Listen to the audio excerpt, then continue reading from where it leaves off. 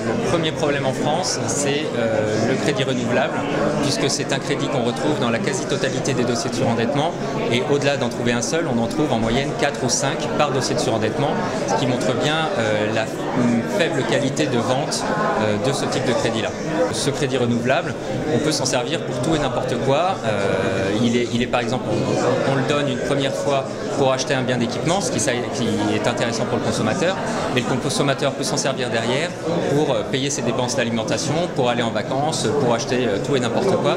Et ça, c'est vraiment dangereux puisque le consommateur peut se retrouver surendetté pour avoir payé des choses euh, vraiment inutiles. Traditionnellement, les, crédits renouvelables sont distribués dans les magasins, dans les grandes surfaces, les supermarchés, euh, et c'est vendu par des filiales des grands groupes bancaires.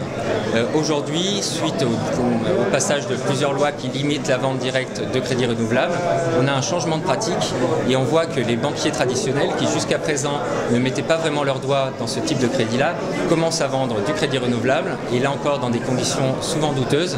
Ils le font parce que c'est extrêmement rentable. Un crédit renouvelable, vous pouvez le facturer jusqu'à 20 ce qui est à peu près le maximum que peut être facturé un crédit en France.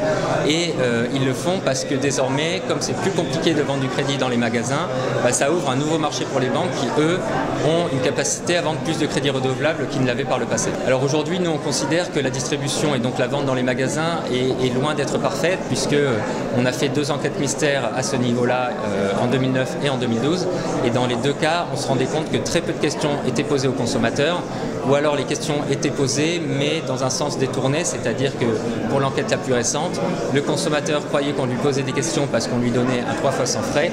En réalité, on lui posait les questions pour le crédit renouvelable qu'on lui donnait avec le trois fois sans frais et dont il n'était pas très souvent au courant.